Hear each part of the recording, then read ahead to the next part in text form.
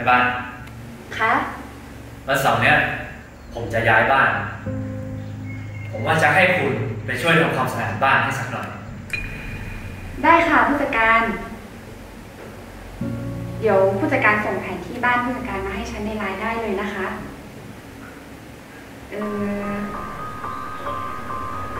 ผู้จัดการคิดค่าแรงให้ฉันเท่าไหร่คะ พี่จิ๊กแกพูดอะไรของแกฮะ ค่าแรงอะไรนะ ฉันก็จ่ายค่าแรงให้แกเป็นรายเดือนอยู่แล้วนี่จะเอาค่าแรงอะไรอีก ผู้จัดการคะ งานบ้านกับงานบริษัท มันคนละเรื่องกันนะคะ งานบ้านมันเป็นเรื่องส่วนตัว ผู้จัดการจะมาเหมารวมแบบนี้ไม่ได้นะคะ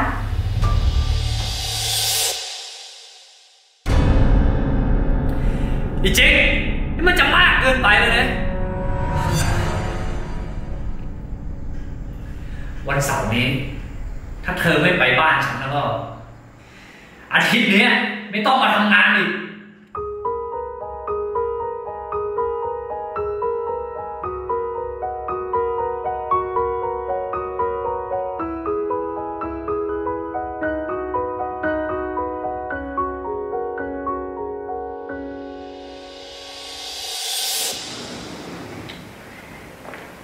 ดีค่ะเจ้านาย สวัสดีคุณจิ๊ก เออเดี๋ยวคุณไปหาผมที่ห้องหน่อยสิ ค่ะเจ้านาย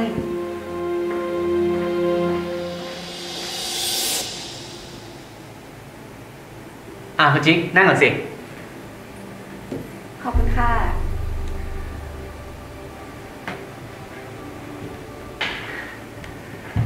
นี่เป็นเงินโบนัสที่ทางบริษัทให้นะสำหรับพนักงานดีเด่นที่ไม่ขาด ไม่สายไม่ลาเลยไม่แต่วันเดียว เดือนนี้อะมีแค่คุณคนเดียวนะ ที่ได้โบนัสเนี้ยต้องขอบคุณคุณมาก ที่ช่วยทำความสะอาดบริษัท ให้สะอาดและน่าอยู่อะรับไปสิ ขอบคุณค่ะเจ้านาย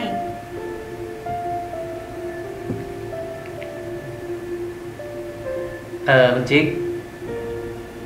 พอดีวันเสาร์เนี้ยผมมีนัดลูกค้าเคสพิเศษเข้ามาเซ็นสัญญาที่บริษัท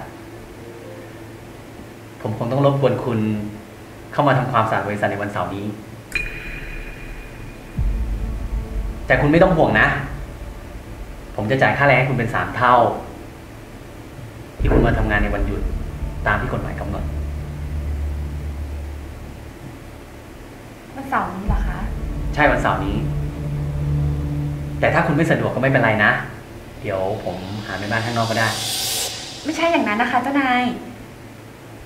ความจริงนี่ก็เปิดเทอมแล้ว ฉันก็อยากจะทำโอทีค่ะ จะได้หาเงินไปจ่ายค่าเทอมลูก แต่ว่า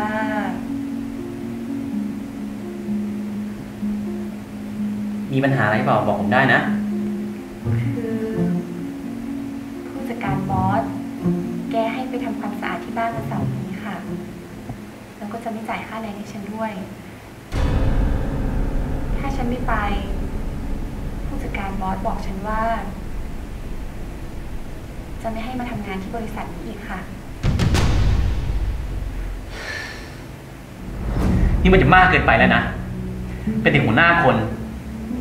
แต่กลับมาเอาเปรียบลูกน้องแบบนี้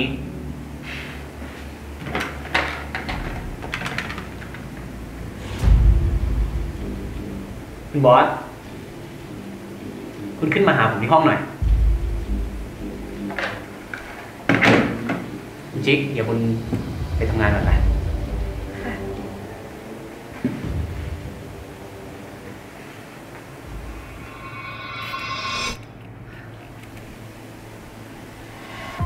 เจ้านายครับ